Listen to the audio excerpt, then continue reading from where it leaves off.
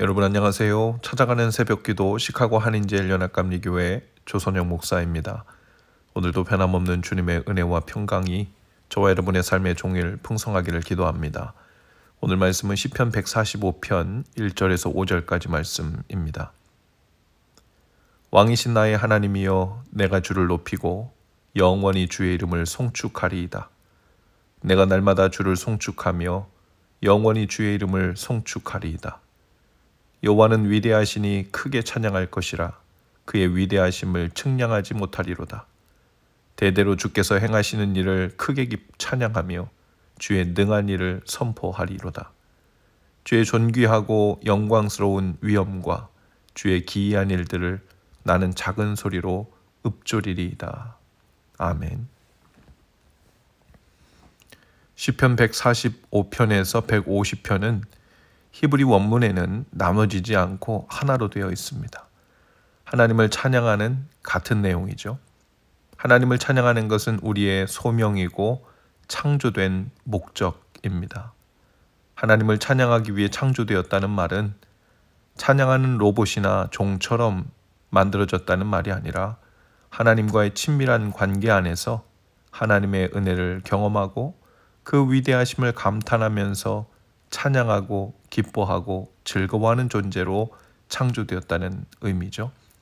바로 너무 좋으시고 위대하신 아버지를 기뻐하고 높이는 자녀의 모습입니다. 145편은 다윗의 시입니다. 다윗은 하나님을 자신의 왕이라고 고백합니다. 그리고 자신은 하나님의 백성이라고 고백하죠. 우리가 알듯 다윗은 왕이었습니다. 그래서 하나님을 왕이라고 부를 때 그것이 무엇을 의미하는지 잘 알고 있었을 겁니다. 그는 자신이 왕이었지만 실제로는 왕이 아닌 것을 알았습니다. 그는 한낱 피조물이고 죄인인 것을 알았습니다.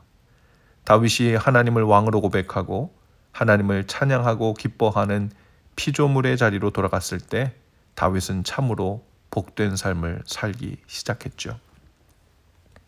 그래서 다윗은 왕이신 하나님을 밤낮 높이고 찬양하는 일이 자신의 삶의 가장 중요한 일임을 알았습니다. 그리고 고백합니다. 왕이신 나의 하나님이여 내가 주를 높이고 영원히 주의 이름을 송축하리이다. 북한에서는 위대하신 김일성 아버지 수령, 위대하신 김정일 지도자 동지, 위대하신 김정은 국방위원장이라는 칭호를 쓰, 며 부르지요. 거의 왕과 같은 존재로 그들을 대합니다.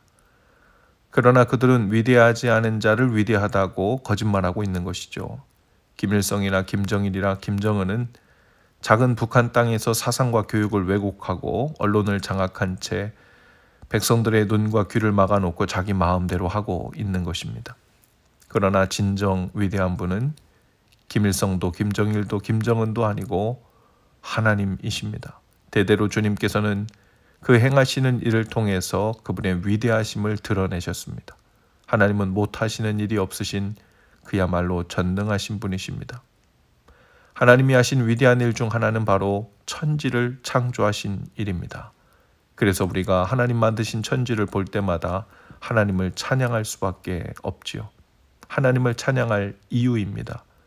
또 하나님은 이스라엘을 바로의 앞자에서 구원하셨습니다. 예수님을 사흘 만에 살리시고 우리를 죄와 사망에서 구원하셨습니다. 하나님을 마땅히 찬양하고 영원히 송축할 일입니다. 다윗도 하나님께서 자신의 삶에 행하신 그 위대하시고 놀라운 일들을 생각하며 찬양합니다. 모세는 홍해를 가르신 하나님을 보았죠. 바다를 가르시고 다시 그 바다를 합치게 하시는 것을 보았어요. 그는 홍해를 가르신 하나님이 바로보다 위대하시고 바다보다 위대하다고 찬양했습니다. 요셉도 하나님이 하신 기이한 일들을 보고 하나님을 찬양합니다. 우리들 또한 가장 중요한 일은 우리에게 베푸신 우리 삶에 베푸신 하나님의 놀라운 일을 찬양하고 송축하는 일이죠. 오늘은 성금요일입니다.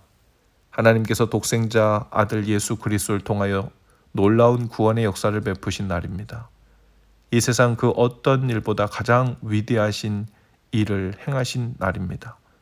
우리는 그 구원의 하나님, 사랑의 하나님, 위대하신 하나님을 마땅히 찬양하고 높이는 것을 일생 가장 중요한 일로 삼아야 합니다.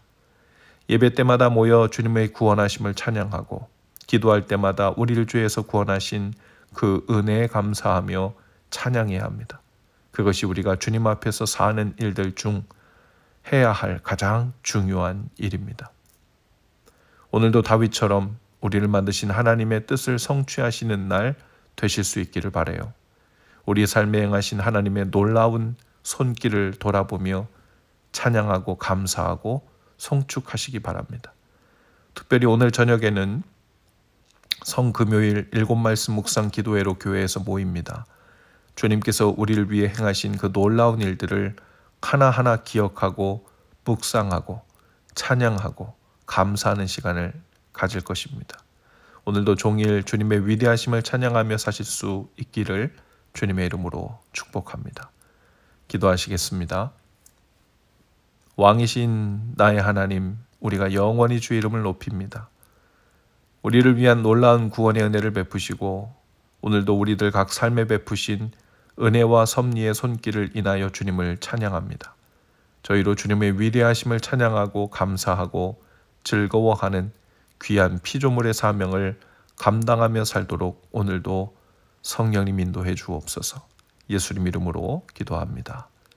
아멘. 여러분 오늘도 말씀 동행으로 화이팅입니다.